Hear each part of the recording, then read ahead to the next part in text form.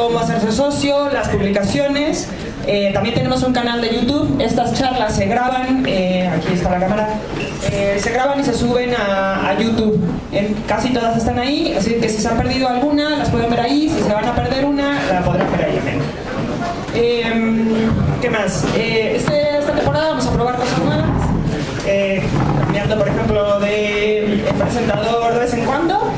Eh, ten- tendremos posiblemente sorpresas en noviembre. También vamos a probar diferentes formatos para la ronda de preguntas.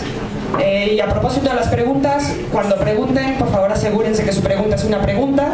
Se reconocen por las cositas redondas de antes y después de la oración. Eh, entonces, pues nada, se los recordaré en un rato también. ¿Qué más? Ah, antes de todas las charlas se hace una, un podcast, graba un podcast con el ponente. Eh, hace un rato estuvieron aquí eh, Ismael y Borja grabando con Antonia. Eh, lo pueden encontrar en Pensando Críticamente, en YouTube, en todos los sitios habituales de podcast. Eh, bueno, y eh, pues presento a Antonia. Antonia Añate es historiadora. Eh, ahora mismo no está, no está para la investigación, pero en sus ratos libres, cada uno se divierte como quiere, en sus ratos libres estudia sobre transacciones financieras eh, transnacionales eh, del tránsito del siglo XVII al XVIII, es traductora jurada y se dedica a las relaciones públicas desde hace muchos años, voy a decir cuántos. Eh, y eh, Antonia se inscribió a RP, socia de RP, eh, que se inscribió a partir de Escépticos en el Pop.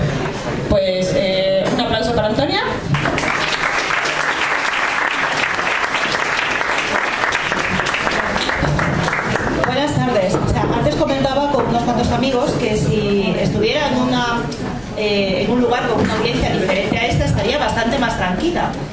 Pero os conozco, sobre todo a algunos de vosotros, y conozco vuestro espíritu crítico y vuestra manía de preguntar, así que empiezo a tener un poquillo de nervios. ¿De acuerdo? Vamos a empezar hablando un poquito de escépticos en el pub muy brevemente. No tanto de escépticos en el pub de Madrid, que los de aquí ya lo conocéis bastante, como en qué consiste este acto que es clave dentro del movimiento internacional de escépticos. Ahí tenéis el logotipo de Skeptics in the Pub de Londres, que fue el primero que se hizo en el mundo. Los que sepáis inglés sabréis que Skeptics en inglés británico se escribe con una C y sin embargo aquí se escribe con una K. La razón es simple. El promotor de Skeptics in the Pub de Londres era el doctor Scott Campbell, australiano, filósofo. Trajo su grafía al viejo mundo, de ahí la. Y la primera vez que se celebró Escépticos en el Pub en Londres fue en 1999. La primera ponente, miren ustedes por dónde, también era americana y actualmente es la responsable de seguir manteniendo vivo Skeptics en el Pub de, de Londres. Así que han mantenido la grafía del nuevo mundo. Sea cual sea la grafía, es un evento que goza de una salud excepcionalmente buena, sigue celebrándose ininterrumpidamente desde 1999 y el 15 de octubre, si alguno se va a pasar por Londres, que sepáis que este es el tema, el ponente y el subtítulo. Lo siguen celebrando como siempre desde hace mucho tiempo en un pub de Camden, que tiene una pinta bastante buena. En Madrid, yo estoy preguntando por la, ¿cómo decirlo? Por la intrahistoria. Sí, no, es que está, está en un sinfín. Estos son los distintos carteles de los distintos eventos de, escépticos en el pub de Madrid. Lo he parado en el glorioso, claro, del de Randy. ¿De acuerdo? Bueno, le pregunté a los responsables de la prim- del primer Escépticos en el PAN cuál era la intrahistoria, cómo, cómo se había gestado y muy amablemente me respondieron unos correos muy, muy agradables diciéndome que después de haber vuelto del TAM decidieron organizar una cosa parecida. ¿Por qué no vamos a hacer una cosa parecida en Madrid? Dijeron y se pusieron manos a la obra. El primer Escépticos en el PAB que organizaron con un tanto de escepticismo, no sabían si iban a recibir mucha respuesta, no sabían si iba a ser buena o mala, se celebró en un pub que era el habitual hasta hace mucho tiempo en la zona de Cuatro Caminos, en la zona de Guzmán en Bueno, el Clover House. Y el primer ponente fue Ismael y Parco, para los amigos, ahí lo tenemos, Ismael Pérez. Bueno, pues Ismael eh, abrió Escépticos en el Pub con una charla que se llamaba La astrología. Y le faltó decir, ¿pero qué dices? En plan pichi. La verdad es que le quedó bastante bien y a partir de entonces seguimos haciendo nuestros escépticos en el pub con regularidad. Quiero decir que estamos realmente orgullosos de la actividad, sobre todo porque nos proporciona la ocasión de vernos y de pulsar opiniones cara a cara. Hablamos mucho en las redes sociales, somos además muy lenguaraces en redes sociales, pero está muy bien verse la cara de vez en cuando. Uf, ah, vale, quería que me había salido abajo. Pensando críticamente es el título del podcast que se graba cada vez que hay un escépticos en el pub y del que acabo de ser víctima ahora a manos de Ismael y de Borja Roberts. Lo podéis encontrar en nuestra página web, que es esta, escépticos.es, os animo a que os paséis, es la página web de ARP, Sociedad para el Avance del Pensamiento Crítico, que es, como nos ha dicho ya Daniela Meli, es la entidad que organiza este acto. Y ahora ya pasamos al fin de la cuestión. Ni edad ni media. Una dosis de pensamiento crítico para los juicios históricos. No quiero confusiones, ni edad ni media es un jodecillo de palabras un poco tonto. No, no tenía yo muchas pretensiones de estar ingeniosilla, pero la verdad es que no ha sido quizá muy afortunado. No quiero decir que no exista la Edad Media, que la Edad Media es algo de lo que nos tenemos que olvidar, que cualquier concepto que tengamos del medieval tenemos que echarlo a la basura. No es eso. Lo que quiero decir es que tenemos que olvidarnos de los compartimentos estanco con los que se nos ha enseñado la historia, sobre todo en los bachilleratos y en los primeros años de universidad. Mucho factor, mucho factor 1, factor 2, factor B, época 1, época 2, época B. Eso es una cosa que no funciona bien. En cuanto a la dosis de pensamiento crítico, está claro. Sin pensamiento crítico no hay saber, no hay conocimiento humano, no hay ningún progreso. En el caso de la historia, cualquier avance que haya tenido como disciplina se debe a una buena dosis, a veces a raudales, de pensamiento crítico. En el caso de la historia de España ha habido auténticas lixiviaciones de pensamiento crítico que se han llevado por delante cronicones horribles que estaban muy en boga en los siglos XVI y XVII. Bueno, pues ahí tenemos lo típico, las imágenes negativas de la Edad Media. La peste negra, la caza de brujas, los horrores, la danza de la muerte, más o menos cualquier cosa. Por alguna razón que yo no acabo de entender, las personas que están eh, inclinadas hacia las ideas de progreso tienen una visión muy negativa de la Edad Media y siempre la tachan de esa época oscurantista, ignorante, espantosa, llena de opresión. Y se dicen cosas tales como, cuando el gobierno dice una cosa que no nos apetece o nos propone un plan que no nos gusta nada, nos dicen cosas como, nos quieren llevar a tiempos de opresión medieval. Y nadie dice, nos quieren llevar a tiempos de opresión asiria, que eso sí que eran burros. No, no, aquí es siempre la opresión medieval. En definitiva, se ha convertido en una especie de, de coco de sacamantecas del progreso. Es algo que hemos heredado y ahora veremos por qué. Realmente la cosa no era tan negra como, como nos la ponen. Hay distintas maneras de manipular la historia. Una de ellas es coger una época más o menos remota, en este caso la media, y mandar a esa época todo lo que no nos gusta de nuestra época actual. Así que la opresión, no, hombre, la opresión no existe ahora, la mandamos a la Edad Media y la dejamos ahí en el cuarto de las basuras. Las torturas, no hombre, no, la tortura es cosa de la Edad Media, son torturas medievales y la mandamos a ese cuarto de las basuras. Pero, uy, perdón, este se me ha escapado. es una pequeña palabra, lo siento. Bueno, eh, como os iba diciendo, eso es una forma de manipular la historia, ¿no? Decimos aquello de, ala, todas las cosas que pasaban en un pasado más o menos remoto, en esta época más o menos nos olvidamos de ella. Pero hay otras formas también de manipular la historia. Y una de ellas son las imágenes sensibleras y las imágenes almibadas. Esto que tenemos aquí es todo lo contrario. Todos, los que hemos tenido la, la, suerte o la desgracia, no sé, de estudiar historia en la universidad, hemos recibido montones de consejos horribles de nuestros seres queridos, diciéndonos, pero chica, ¿tú qué haces perdiendo el tiempo estudiando eso que no vale para nada? Esa historia que no vale para nada, pues es una tontería, si la historia es una cosa que sabe cualquiera. Esta película, si no la habéis visto, yo no sé qué estáis haciendo aquí en vez de salir corriendo a verla. Es una película extraordinaria, en la que Charles Lafton además está, que lo borra. Hay un momento en el que los ocupantes alemanes exigen a los profesores de las escuelas que hagan a los niños arrancar páginas específicas de los libros de texto de historia. Y Morino O'Hara, que está hecho una leona en la película, les dice a los niños aquello de no, dadme a mí las páginas que ya os las devolveré después es una imagen simbólica preciosa de qué es lo que pasa con la historia. La historia es eso que no vale para nada hasta que el poder político encuentra la forma de manipularla. En ese momento la historia se convierte en algo absolutamente maravilloso. Y esto que tenemos aquí es una viñeta de eso que en Madrid llamamos el perich, pero que realmente es el peric, el perico. Un grandísimo viñetista que decía, no lo entiendo, en la clase de matemáticas yo me lo creo todo. Bueno, pues me exigen la demostración. Dice, en cambio, en la de historia, y pone cara de pasmo la criatura, y dice, lo que me exigen es solo que me lo crea. Esta viñeta, que es muy buena y que recoge muy bien el espíritu de lo que es la historia crítica, figura en un libro excelente del profesor José Fontana que se llama La historia de los hombres y que os recomiendo también muy vivamente si todavía no lo habéis leído. La historia efectivamente no es un corpus cerrado de conocimiento hiperespecializado y cuanto más especializado mejor y cuanto más en miguitas, como decía François II, mejor todavía. No, no, la historia no es eso, la historia es un método de análisis. Es el método de análisis que nos permite mirar al pasado, entender bien lo que ocurrió, para eso necesitas datos, pero obviamente no es una acumulación de datos. Porque una vez que entiendes lo que pasa en el pasado, entiendes lo que pasa en el presente. No tanto porque seamos herederos del pasado, como porque el método de análisis nos vale para el pasado y nos vale para el presente. Y con suerte, ojalá, para empezar a tener soluciones de futuro.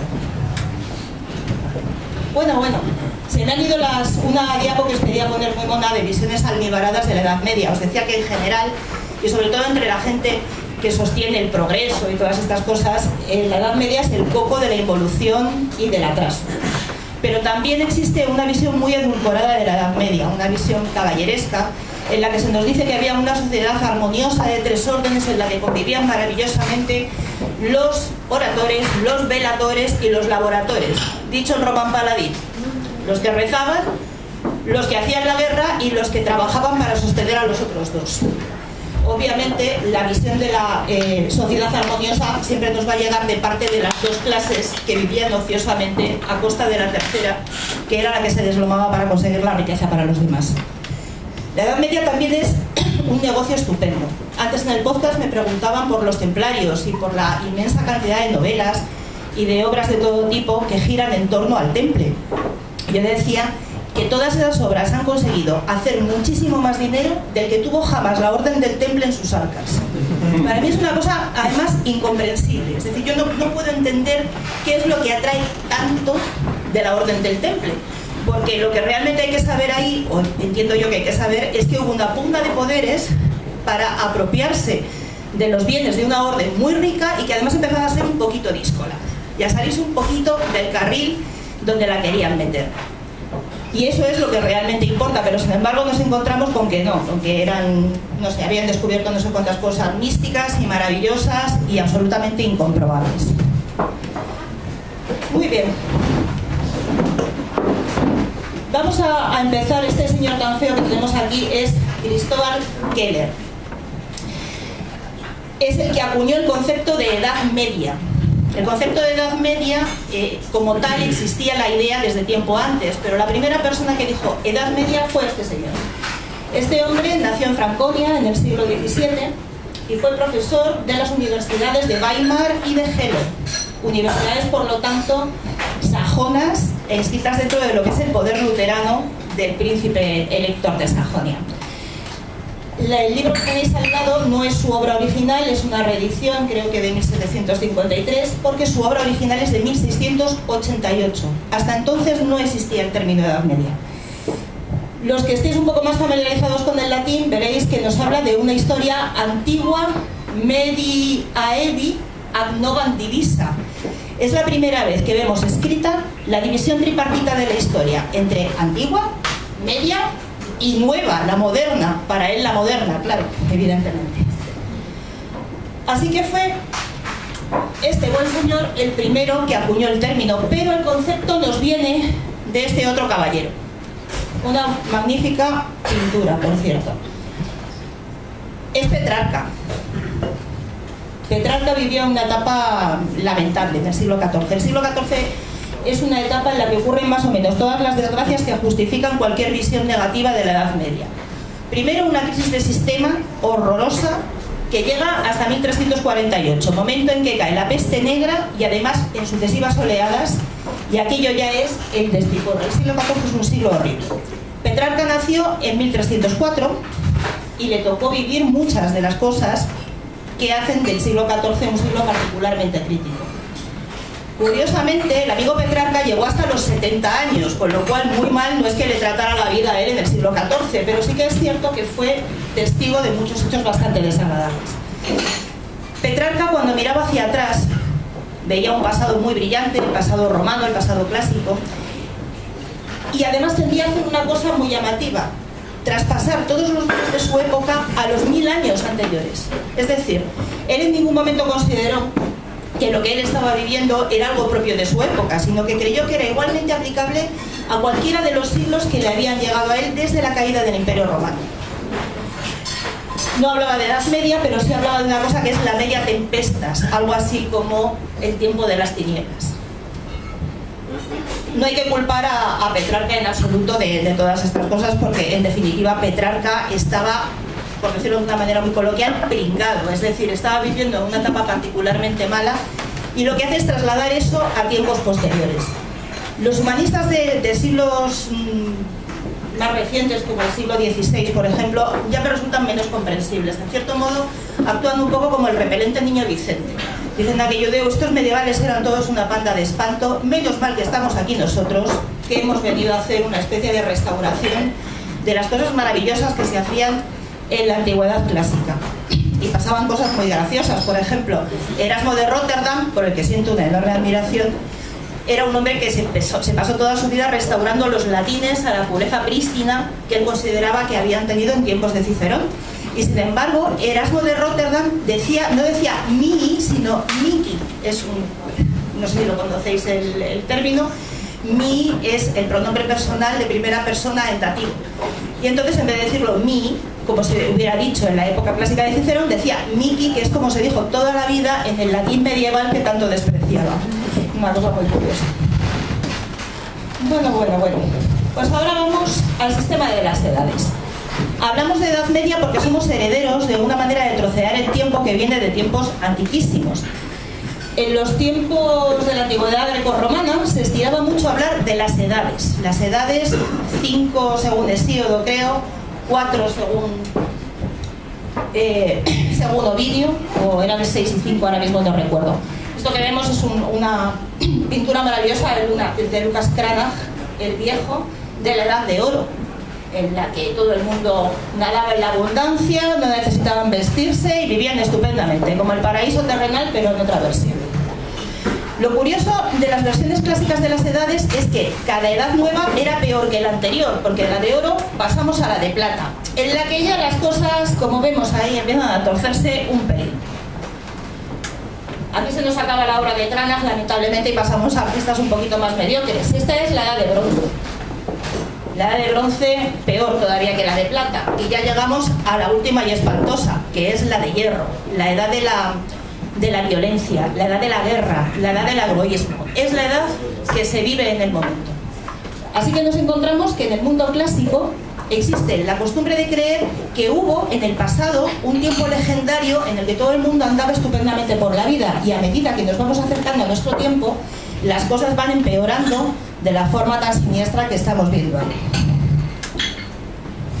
Y aquí llegamos al billete de las mil pesetas de San Isidoro de Sevilla. San Isidoro de Sevilla era muy importante, no solo porque un billete de mil pesetas, cuando esto estaba, cuando estaba San Isidoro, era una pasta, ¿eh? en aquella época era una pasta. Imaginaros de 1965 que es el billete. Sino porque San Isidoro tuvo una, una, obra en las, en las etimologías que fueron fundamentales dentro del desarrollo del pensamiento occidental.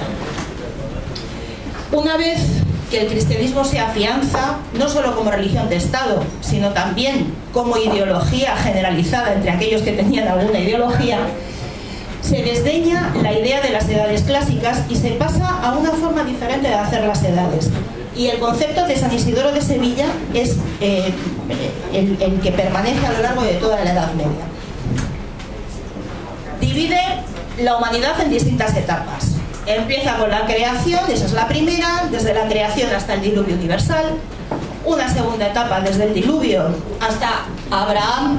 Aquí me he confundido y he puesto al pobre Isaac en el sacrificio, y eso que no tengo hijos adolescentes, ¿eh? pero vamos, es. Luego hay una tercera etapa desde, Isaac hasta David. La cuarta etapa llega hasta la toma de Judea por Nabucodonosor. Y seguimos con las últimas etapas, la que llegan hasta el nacimiento y ya por fin, por fin, la de la parusía. A partir de ahí se nos produce el fin de la historia. El fin de la historia es un concepto de arranque netamente cristiano. La parusía es la segunda venida de Cristo al mundo. Al principio, en los primeros siglos de la, de la cristiandad, los cristianos creían que Cristo estaba a puntito de venir. O sea, que la parusía no era una promesa de futuro de ya veremos cuándo, sino que era una cosa que iba a pasar como que ya mismo. La realidad, que era muy tozuda, se encargó de demostrarnos que Cristo no tenía ninguna intención de volver, por lo menos a corto plazo. Y entonces se construyeron una manera de ver la parusía según la cual ya vendría en algún momento no determinado. Y como los poderes más estables que ellos habían conocido a lo largo del tiempo eran justamente los del Imperio Romano, de alguna manera identificaron la última edad, la sexta, la que termina con la parusía, con la supervivencia del Imperio Romano. ¿Qué es lo que ocurre? Pues que en 1453 cae Constantinopla en manos de los turcos. Y con ello se derrumba la última ficción, esta es la bandera de los Comneno, imperio romano que existía. Desde tiempos de los Comneno, la segunda mitad del siglo XI, realmente el imperio de Bizancio, el imperio romano de Oriente ya pintaba muy poco en el mundo, pero aún así se seguía manteniendo como ficción del mantenimiento del imperio.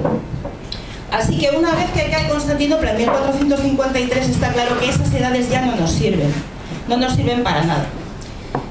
Yo creo que hoy en día tampoco somos capaces de pulsar hasta qué punto fue importante para ellos la caída de Constantinopla, sobre todo en muchas ciudades italianas a las que llegaban los refugiados, griegos. Venían contando pues, que se les había acabado su modo de vida, los horrores del asedio y de la toma, y entonces despertaron, sobre todo en las ciudades del Adriático y de la Toscana italiana, una pasión importante por recuperar aquello que los turcos se estaban llevando por delante.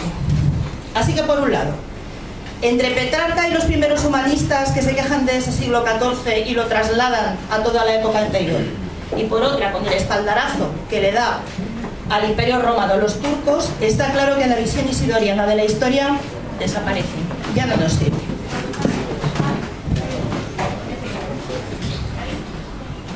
Disculpadme un momento, que tengo aquí un pequeño. Antes eh, veíamos el libro de Cristóbal Keller, el que fija la Edad Media de una manera clara. El tiempo que él dispone para la Edad Media es el siguiente. Dice, la Edad Media comienza cuando Constantino funda Constantinopla y termina cuando Constantinopla cae en manos de los turcos. Ahí tenemos la famosa reproducción de la Constantinopla caída en manos de los turcos. Ahora bien, ¿qué es lo que ocurre? El Imperio Romano de Oriente es un hito fundamental. Esto, en cambio, lo que nos muestra es la caída del Imperio Romano de Occidente. Esa es la, la Puerta Mayor de Roma. A lo mejor la conoces. Bien, empezamos a hablar de los hitos históricos. Los hitos históricos no son inocentes en absoluto. Cuando Keller decía, la Edad Media empieza y termina en este momento, lo que estaba diciendo era que el desplazamiento del poder y de la economía romana hacia Oriente había sido la determinante para tener esa época tan media, tan horrible y tan espantosa. Pero no es la única división que tenemos de la Edad Media, ni muchísimo menos.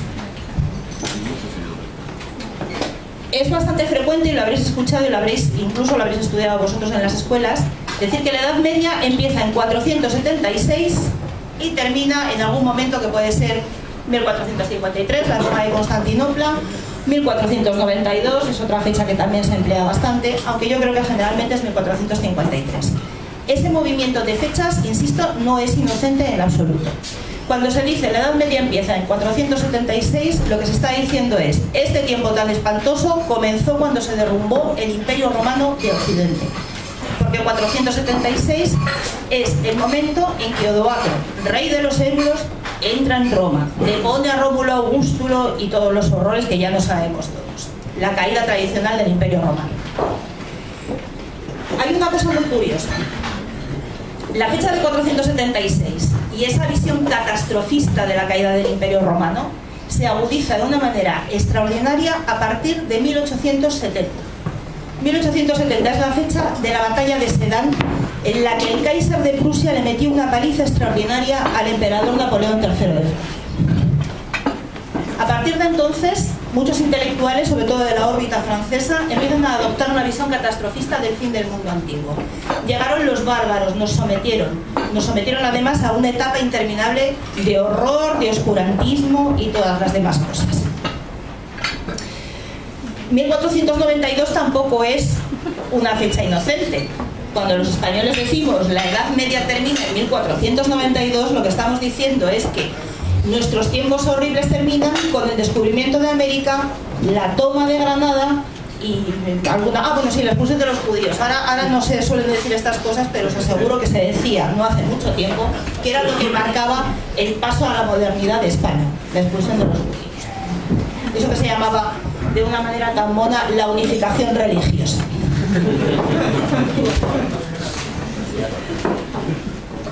Bueno, pues os decía que efectivamente no es inocente. En el caso español, además, es, muy evidente. Los mayores del lugar recordaréis perfectamente cómo se enseñaba la historia en la época y entenderéis bien a qué me refiero con esto de que las fechas no son inocentes y la manera de hablar en historia no es en absoluto inocente.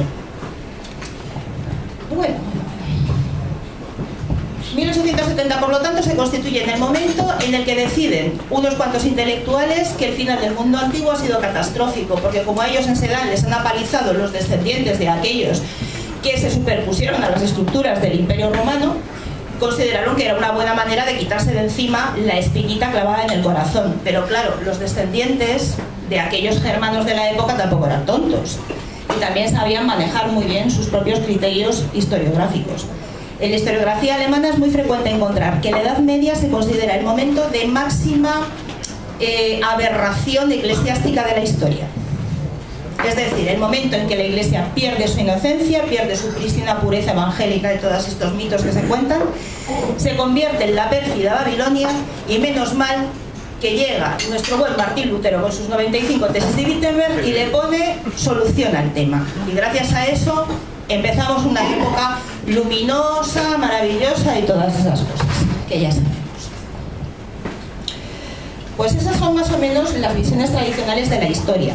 Hay que tener en cuenta que la teoría catastrofista fue sustituida poco después por una teoría más bien continuista, que era aquella de hombre, tampoco fue para tanto. Es decir, sí es cierto que vinieron los pueblos germanos, se sentaron aquí, todo eso, pero realmente no fue para tanto, hubo mucha continuidad.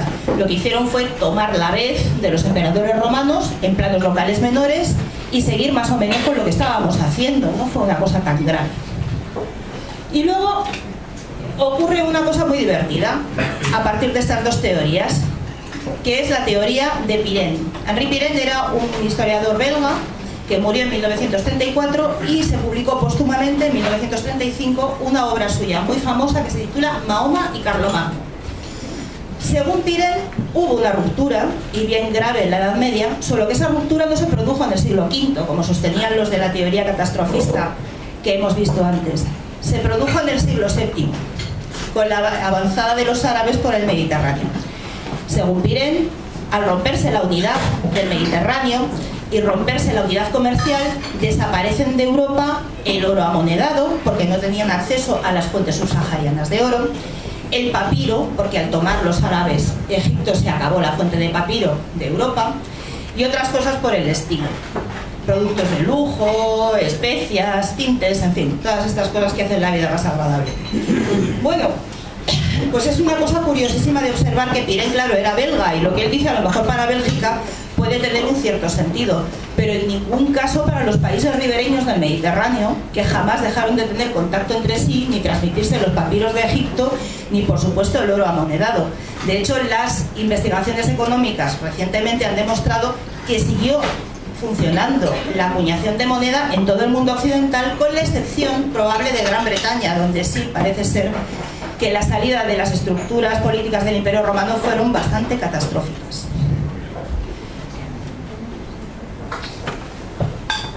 ¿Este señor lo conocéis? No. Este señor se llama Manuel Jiménez de Parra. Fue el presidente del Tribunal Constitucional entre 2001 y 2004. Y no recuerdo si fue en 2002 o en 2003, tuvo una salida de pata de banco fantástica que viene muy al caso para, para lo que estamos comentando. No voy a leer textualmente la cita, que es un poco enojosa, pero vino a decir algo así como, pero ¿qué comunidades históricas ni comunidades históricas esto de Cataluña, de Galicia y tal? ¿Y por qué? Porque pidieron el referéndum, no tenían el referéndum o el, o el estatuto en época de la República. Y dice, ¿y a mí que me cuenta? Que eso no es historia. Historia hace mil años. Que nosotros en Córdoba y en Granada nos lavábamos y esos señores no sabían ni lo que era asearse los fines de semana. Y se quedó tan a gusto. Es cierto que dijo una cosa, una auténtica grosería, pero dijo también una buena verdad. Efectivamente, cuando hablamos de Edad Media es ¿qué Edad Media? No será la de Córdoba, ¿no? No será la de Córdoba donde en el año 1000 había una biblioteca que era la envidia del mundo. O no será la de Sicilia, la Sicilia de Federico II, ya con un gobierno cristiano, que era un ejemplo absoluto de, de ciencia y de arte funcionando. Así que efectivamente, a ver, ¿qué edad media?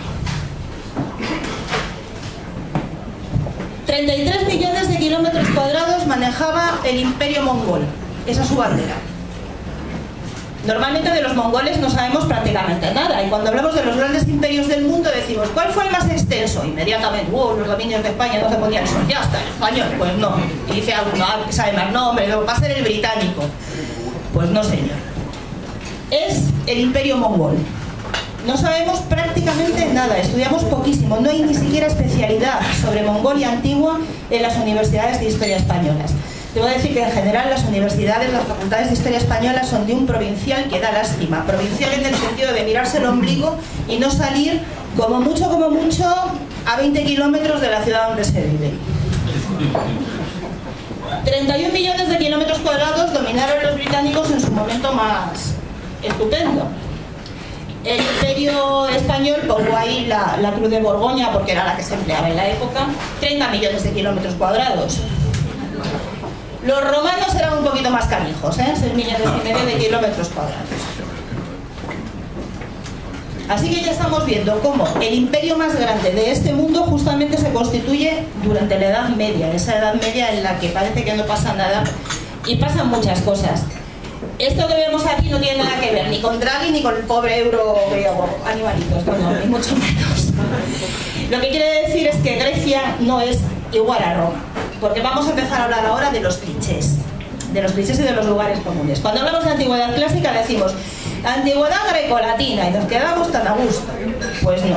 Entre Grecia y Roma había todo un mundo de diferencia.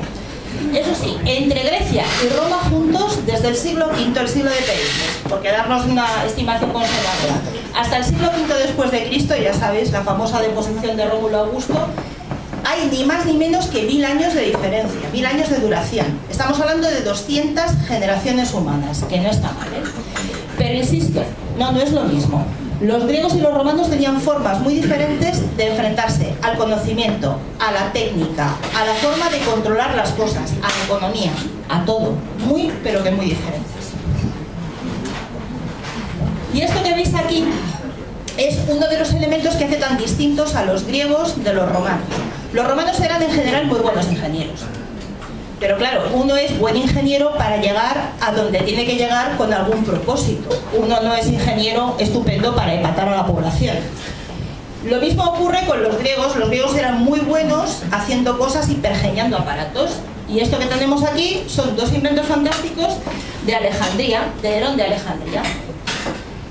Aquel de allí, el de la izquierda, es el primer motor a vapor que se conoce en la historia, siglo I después de Cristo. Y este de aquí es un motor de tipo hidráulico. El primero se quedó en juguetito de los señores Ptolomeos de Alejandría y no se le dio ninguna aplicación práctica. El segundo se quedó como juguetito de los templos de Alejandría donde la gente, los fieles se mataban cuando veía que el agua subía de aquella manera en un movimiento aparentemente perpetuo, diciendo, ¡oh no, qué maravilla! Y por eso le empezaron a llamar al pobre señor Herón el Mago. Estupendo. Así que estamos viendo que tenemos unos aparatos fantásticos con unas aplicaciones prácticas fantásticas en el futuro, en el futuro 20 siglos más tarde casi. Una de las características típicas de, la ciencia y de la técnica griega es que era muy aristocrática. Es decir, ellos no se manchaban las manos produciendo motores ni produciendo cosas que tuvieran una aplicación práctica. Para lo único que tuvieron realmente una visión muy práctica fue para la medicina y para la poliorcética. Esto de la poliorcética quiere decir la toma y el sostenimiento de lugares fortificados mediante aparatos y armas como esta ballesta que tenemos aquí. No, eso es una catapulta, perdonad.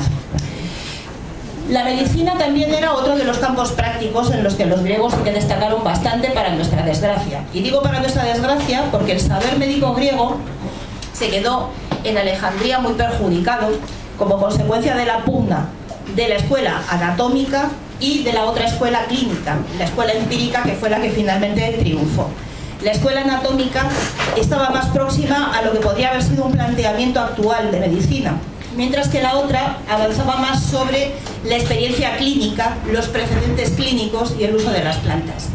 Como todos sabemos lo que es Galeno y todos sabemos cuál es la influencia de la medicina del corte hipocrático a lo largo de toda la historia hasta hace bien poco, y sabemos la de vidas que ha costado, no creo que tengamos muchos motivos para sentirnos encantados del triunfo de esta, de esta escuela médica.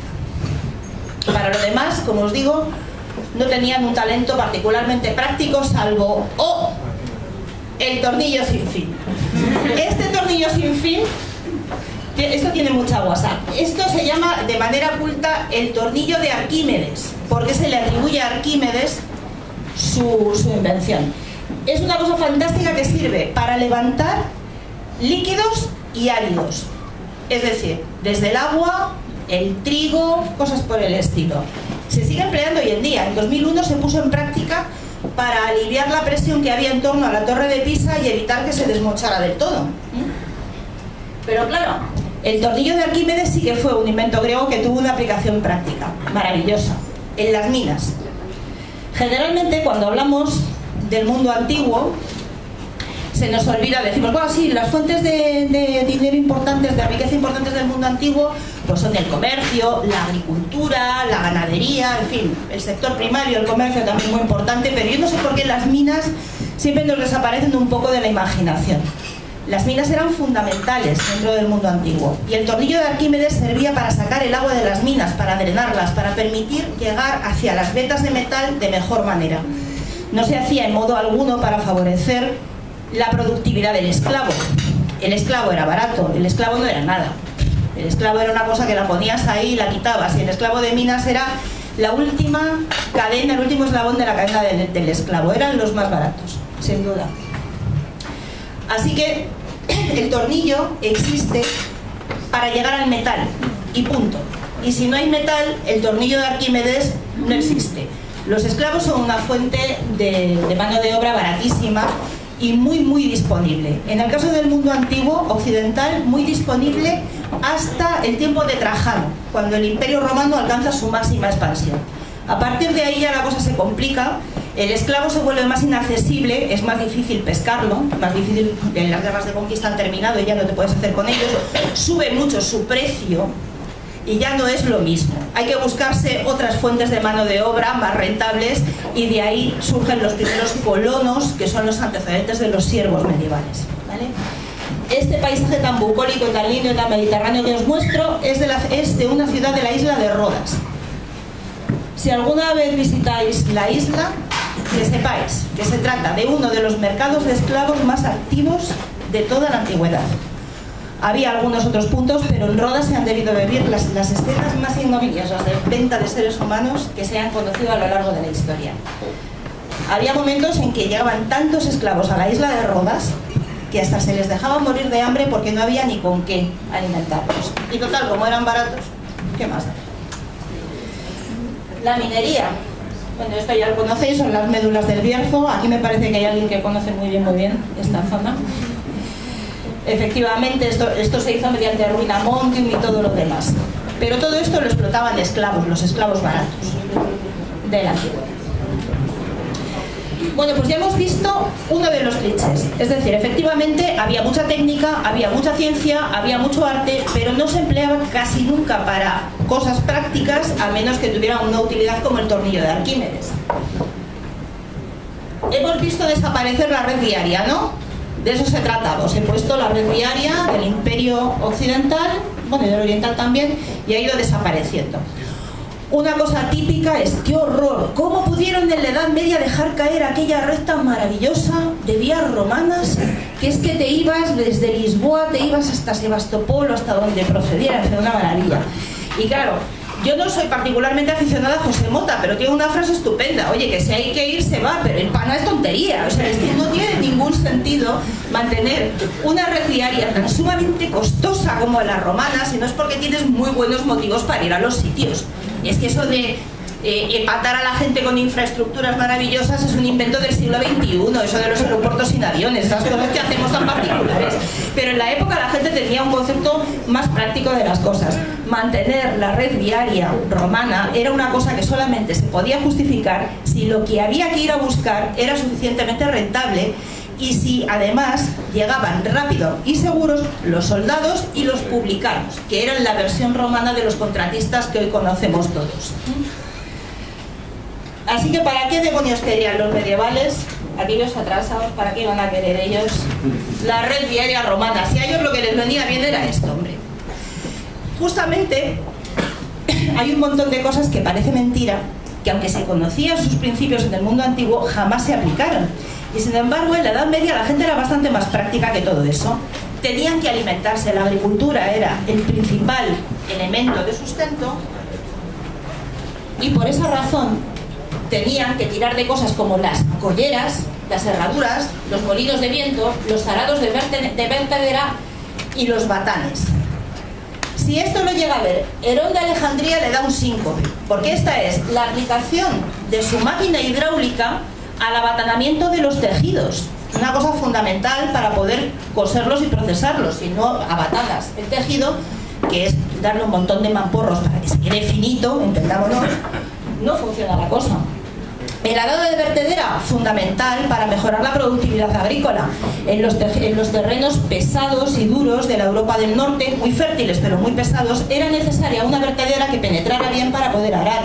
El arado romano no servía en absoluto para esos terrenos y no se hubiera podido cultivar el trigo en las zonas del oeste de Europa central y oriental de no ser por este tipo de, de inventos. La collera, hasta la invención de la collera era imposible poner caballos tirando de los arados, tenían que ser bueyes, porque si le ponías la atadura normal al caballo, lo ahorcabas. Con la collera lo que hacías era permitir que el animal empleara la fuerza de los hombros y por supuesto llegara vivo al final del surco, que es una cosa muy interesante. La herradura. Y lo mismo ocurre con los molinos de viento, la aplicación de la energía del viento a la consecución de un fin. Vamos, muy bonito no era, no tenía muchas cornucopias, pero está claro que era muy práctico, alimentaba a las personas. Se me ha olvidado una cosa, una cosa de técnica agrícola. Los inventores de las rotaciones de las cosechas eran también gentes de la Edad Media. Eran de aquellos que decían, el suelo se agota y por lo tanto tenemos que hacer una rotación. Gracias a eso se aumentó muchísimo la productividad agrícola la revolución del año 1000, esto que se llama la revolución del año 1000, hubiera sido imposible de no haber sido por eso, porque durante siglos anteriores se estuvieron perfeccionando este tipo de, inventos. No conocemos ni a sus inventores, muchas veces no sabemos ni las zonas en las que aparecieron, no sabemos un montón de cosas. Estaba claro que estaban menos pisto que Herón de Alejandría y no tenían un rey que decía, mira, mira qué collera más maja tenemos, ¿no? Esto aquí funcionaba de una manera completamente diferente como historiadora yo sería francamente una desagradecida si no hiciera una mención al que es de verdad el padre de la historia, a Ibn Khaldun, llamado en español Aben Khaldun, normalmente le llamamos. Normalmente se dice que el padre de la historia es Heródoto. Yo no daría mucho crédito a esos decires. El padre de la historia, al menos tal como la entendemos hoy, es Ibn Khaldun, un señor de Magrebí que vivió en el siglo XIII y parte del 14, perdona, en el 14 es verdad, Ibn Khaldun es del 14, y que tenía una idea clarísima de qué es lo que había que investigar cuando hablábamos de historia. Había que investigar a los pueblos, había que dejarse de hacer crónicas de los reyes. Había que ver cuáles eran las razones por las que los pueblos querían conquistar a otros, cuál era su economía. Ibn Khaldun era un tipo que se fijaba muchísimo en estas cosas, era comerciante y viajero, probablemente aplicaba lo que había visto a lo largo del tiempo. Este es el Maleus Maleficarum. El Maleus Maleficarum, yo creo que algunos lo conoceréis mucho seguramente, es un texto que servía para detectar brujas. Uno leía el Malleus Maleficarum, veía a la suegra y decía, uff, bruja Digo la pobre suegra porque ya sabéis que es lo más sufrido que tenemos en el país. Los que tengáis mejor vista, veréis que el libro es de 1669. Efectivamente, la caza de brujas y tantos horrores no son medievales. La caza de brujas es un fenómeno del mundo moderno. El Maleus Maleficarum es un fenómeno del mundo, moderno, del mundo moderno. Y la Inquisición, aunque la primera, la Inquisición papal, la de la cruzada contra los albigenses, es de tiempos medievales, no alcanzó toda su gloria, por decirlo de algún modo, hasta tiempos modernos, hasta que se construyó en el mecanismo de poder de los reyes de Castilla y de Aragón. Fue la única institución que gobernó por igual en todos los territorios que estaban bajo control de los reyes de España. En Castilla desde 1478, en Aragón desde 1483. En América también en cuanto se llegaron por allí. La última, porque ya me estoy enrollando mucho más de la cuenta, lo último que os quería decir es que yo no quiero hacer una defensa paradigma de la Edad Media, creo sinceramente que las edades no merecen ninguna defensa, que la historia no es así, la historia no es una historia de edades, pero sí que quiero hacer un ataque frontal al cliché y al prejuicio que muchas veces hemos heredado por esa forma esquemática de estudiar la historia. La Edad Oscura no era tan oscura. En la Edad Oscura fue cuando se ideó la navaja de Ockham. En la Edad Oscura fue cuando se acuñó ese término tan maravilloso de a hombros de gigantes en la mano de, Bernardo de Chartres. Y las edades que consideramos modernas y luminosas, como la Florencia de los Medici, siempre pensamos en la Florencia de los Medici, ¿eh? está claro que nunca pensamos en otro sitio cuando hablamos del Renacimiento, no eran ni muchísimo menos tan luminosos y tan estupendos. La historia no se puede construir jamás sobre prejuicios ni sobre estereotipos. Y con esto os dejo en paz.